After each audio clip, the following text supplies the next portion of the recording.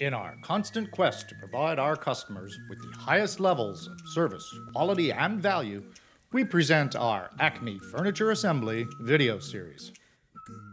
In this Acme Assembly video, we're going to be putting together our Model 10170B Allentown bunk bed, its side drawers that slide into the stairs, and its trundle drawer accessory that slides right under the bed for increased storage.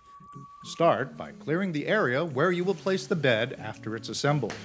Open the packages and separate the pieces by type, and put the bag of small parts and fasteners on a small table nearby for easy access.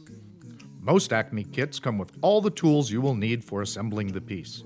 However, it's always a good idea to have on hand a Phillips head screwdriver, a rubber mallet, and a small hammer. Begin by locating the headboard assembly and the side rails. Insert the half-round nuts and wooden dowels into the ends of the side rails. Then attach the two rear side rails, one near the top of the headboard and one on the bottom, with the long bolts.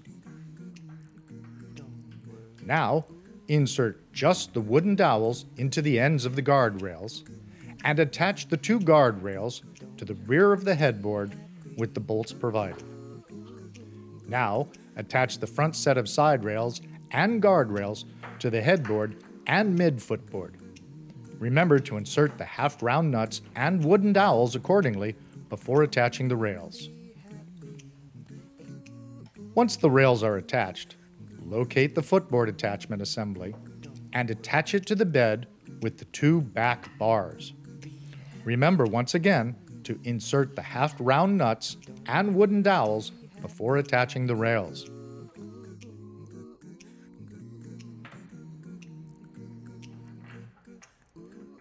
To keep the footboard assembly steady, first attach the bottom male drawer slider to the mid footboard and to the outside footboard.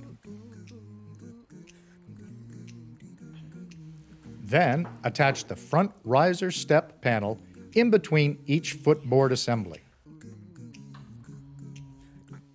This panel becomes the foundation for the stairs to the upper bunk. Continue to assemble the stairs by placing a horizontal step between the footboard assemblies and on top of the front riser panel.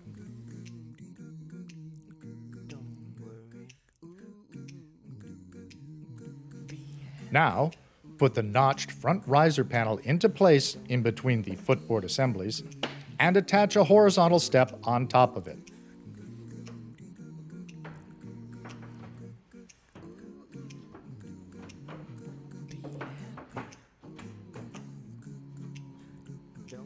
Continue with the next three notched riser panels and steps.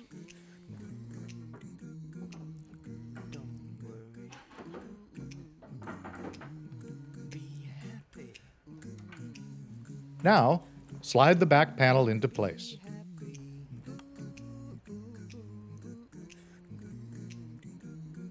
Next, slide the mid headboard panels into place and secure them with screws.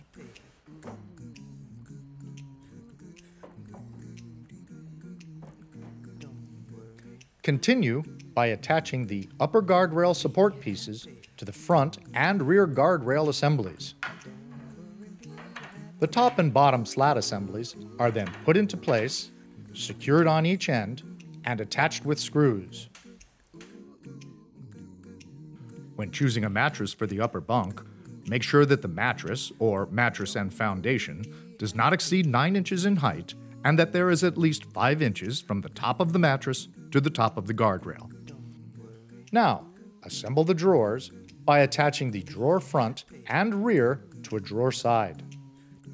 Slide a drawer bottom into the assembly and attach the other drawer side. Turn the drawer over and attach the female drawer guide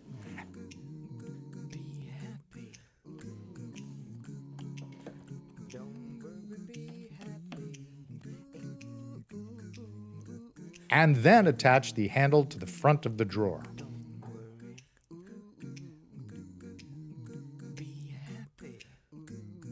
Slide the drawers into place, and the bunk bed assembly is complete.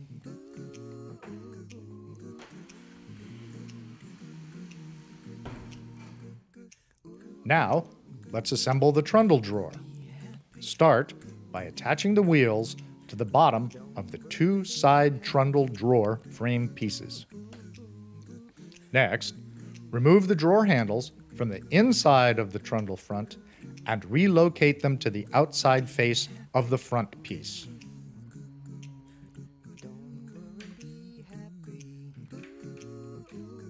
Then, connect the front and rear trundle frame pieces by attaching them to the two bottom pieces.